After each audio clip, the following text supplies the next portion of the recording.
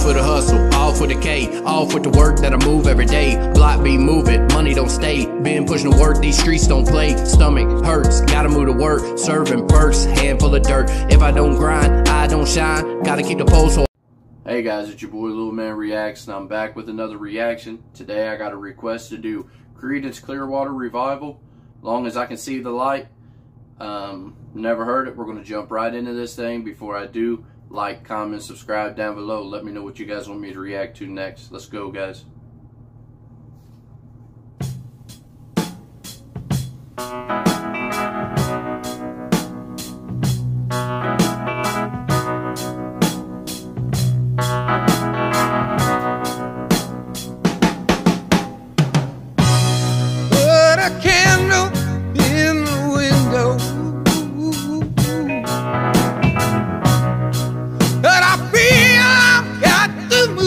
Guys, I'm gonna pause real quick because I have heard this song.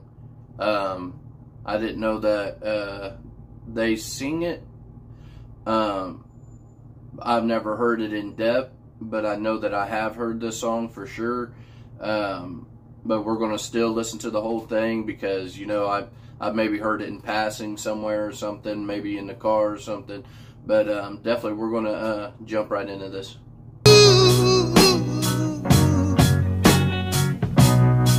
Oh, I'm gone, gone. I'll be coming home soon.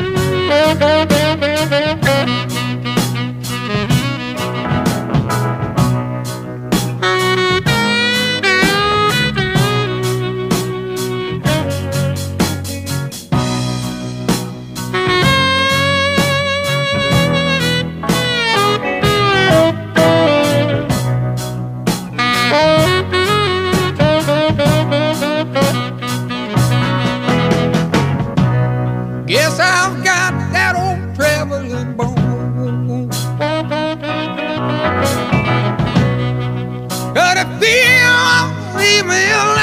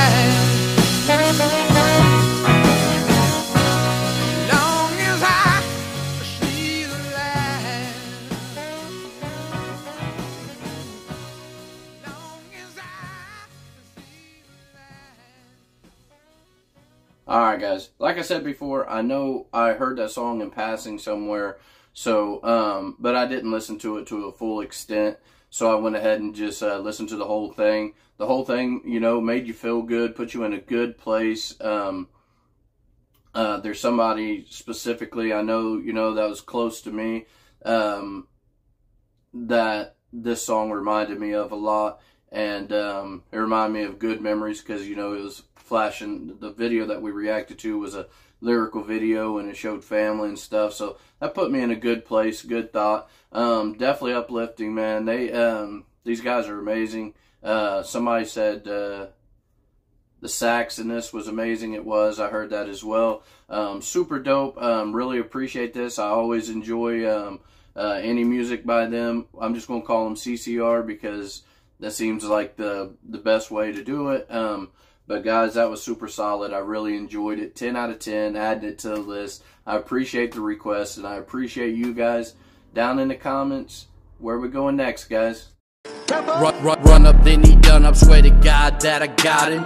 Do this for fun. Where I spot him's where I drop him. Watch him.